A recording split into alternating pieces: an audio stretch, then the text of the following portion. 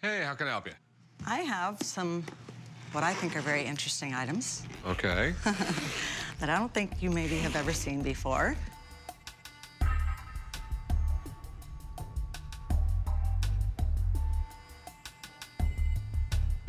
These are papal slippers. They belonged to Pope Leo XIII. Look comfortable to me, Rick. I came down to the pawn shop today to try to sell my slippers and cap that belonged to Pope Leo XIII. I inherited them about 20 years ago. I want to sell them, but I don't know what they could possibly be worth or if someone would even want to pay money for them.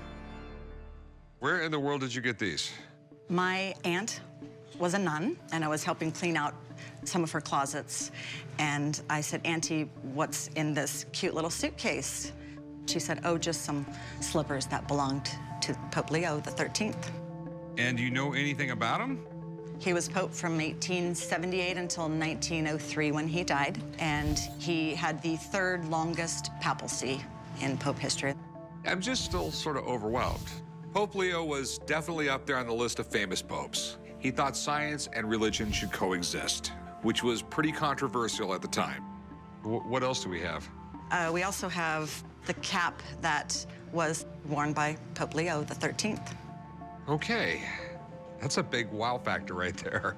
Uh, we also have um, his stockings. I'm amazed we just don't get stuff like this walking through the door every day. Um, yeah, you got the Pope's shoes. I'm telling you. Yeah. I mean, did she tell you how she got them or anything like that? She just said it's a box full of Pope stuff? It's there, there's some writing on the front of this box. It's hard to read, but um, it says brocade, uh, velvet brocade slippers said to have belonged to Pope Leo XIII.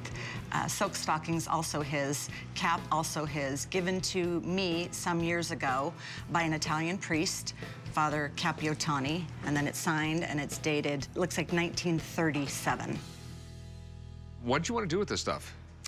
Well, I would like to sell them. Well, we can sit here and talk all day about these slippers. We don't know a damn thing. Let's call somebody. Um, yeah. So let, let me go make a phone call. Like I said, rarely am I speechless, but this You is are this time. Let's go. okay. Thank you. we get religious items in here all the time, but something that actually belonged to the Pope, I gotta assume these are really valuable. But how do you prove these were the Pope's? So check this out. That was supposedly owned by the Pope, Leo XIII. The Pope's right. shoes, the Pope's hat, Pope's, All right. his socks. This is interesting.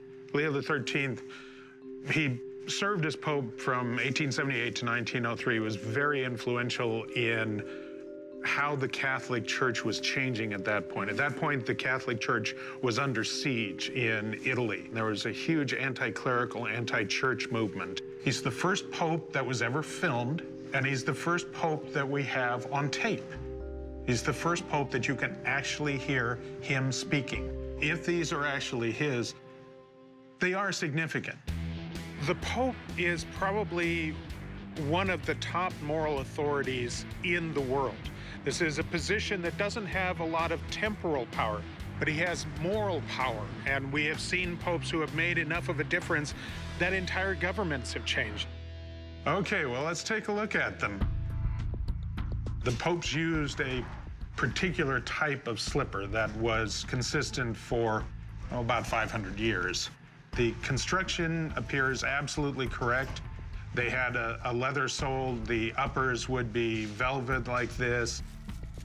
Oh, this is good. It's it's a satin interior. It's handmade. It's it's gold threading on it, all of which is is correct. Now, the zucchetta, I can tell, is not in the best of shape. The problem here is that zucchetta is done with silk, and at the turn of the century, in order for silks to fall correctly, the silk was treated with metallic salts. Ah. And what happens if the salts cut the threads? Hmm. You can see this surface layer has almost completely disintegrated.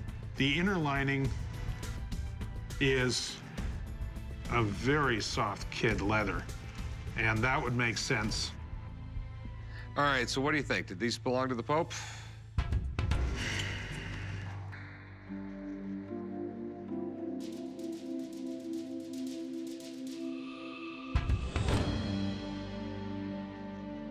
Maybe.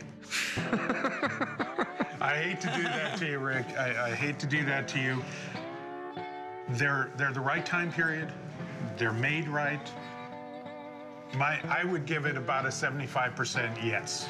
Okay. You know, it's it's a problem that you run into when you've got something that's that belonged to somebody.